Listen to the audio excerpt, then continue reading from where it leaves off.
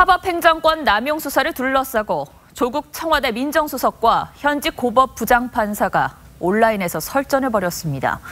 조 수석이 고법 부장판사를 향해 제 식구 감싸기라고 공개 비판하자 부장판사는 치사한 방법으로 겁박하지 말라고 맞받았습니다. 한승원 기자입니다. 대통령 개헌안 먼저 포문을 연 건 조국 청와대 민정수석이었습니다. 임종원 전 법원행정처 차장이 검찰 소환 조사를 받은 직후 밤샘 수사 관행을 비판한 강민구 서울고법 부장판사를 향해 조직공유형 비판이라며 페이스북에 공개 비난했습니다.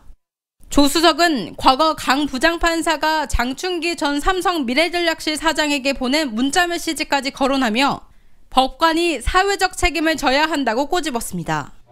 이에 대해 강 부장판사는 법원 내부 게시판에 웬만한 판결문과 맞먹는 47쪽짜리 자료집까지 첨부한 글을 통해 조 수석이 가담하리라고는 예상치 못했다며 더 이상 법관을 치사한 방법으로 겁박하지 말라고 했습니다.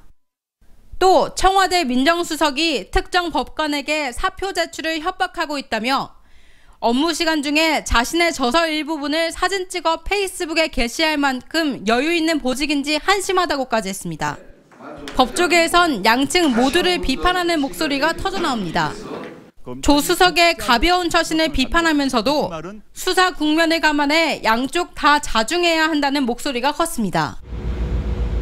청와대 민정수석과 고법 부장판사 간 온라인 설전에 사법부 내용만 깊어진다는 비판도 제기됩니다. TV조선 한송원입니다.